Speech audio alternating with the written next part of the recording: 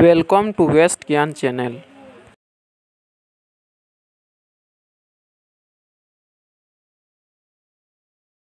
Psychology का objective question. परीक्षा में पूछे जाने वाले प्रश्न। अंकों को रखा जाता है आरोही या अवरोही क्रम में। निम्न की गणना के लिए। इसका उत्तर होगा माध्यिका।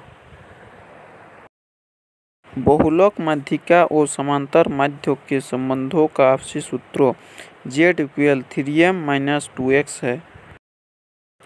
माध्य कौन सा चतुर्थक होता है? उत्तर, द्वितीय। अपकिरण की माप जितनी कम होती है, उस पदमाला में उतना ही स्थायित्व अधिक होता है। उत्तर, ए, सापेक्ष। अर्ध चतुर्थक विस्तार का सूत्रों भी थ्री क्यू माइनस वन प्रथम अपकिरण घात किससे कहते हैं?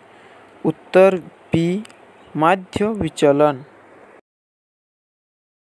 चतुर्थक विचलन का पाँच गुना बराबर होता है।